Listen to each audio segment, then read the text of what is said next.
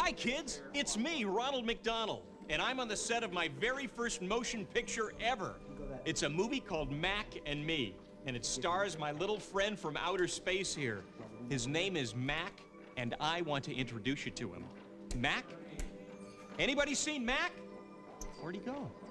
Paging Ronald McDonald. listen, I've got to go now. You're wanted in makeup. Makeup? Me?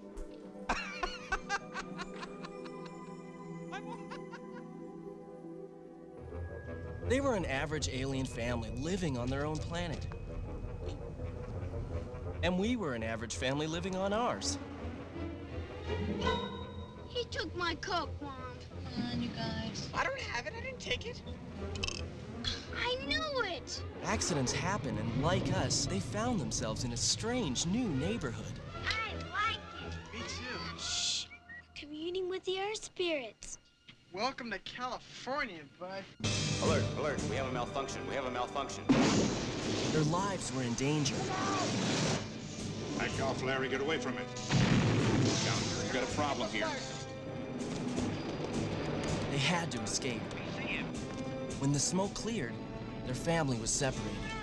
Somehow, one of the aliens was hiding in our house.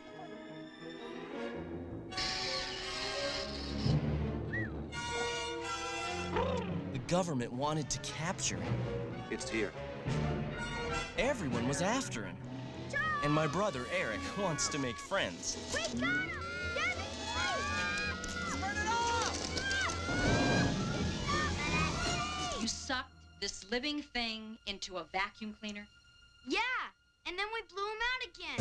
Now Eric is risking not only his life, but my life Give me the gun. Step back! to save them. This is the police.